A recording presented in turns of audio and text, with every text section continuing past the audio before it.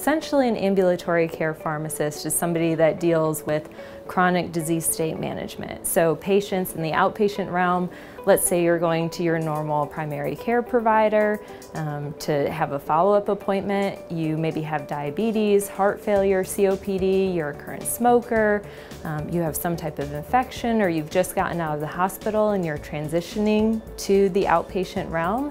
that's where an ambulatory care pharmacist would be. Well, I would say the most rewarding part of my job would be interacting with patients. So starting to develop a relationship with them, um, and I feel the most gratification when I talk to them about what their medications are doing, why, instilling that motivation behind, and you just see their eyes, like the understanding. Uh, we have a large quality improvement team that involves case managers, social work, and we realized that we had sort of a missing piece of having clinical pharmacists to assist with patient care in the clinics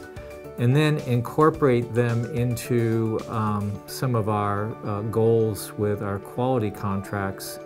with insurance companies like Medicare, Advantage plans, and commercial insurance. If you're somebody who enjoys forming relationships with people, um, enjoys any chronic disease state, so some that I mentioned earlier like diabetes, COPD, heart failure, if you enjoy any of those disease states or they're interesting to you, you should probably consider ambulatory care pharmacy.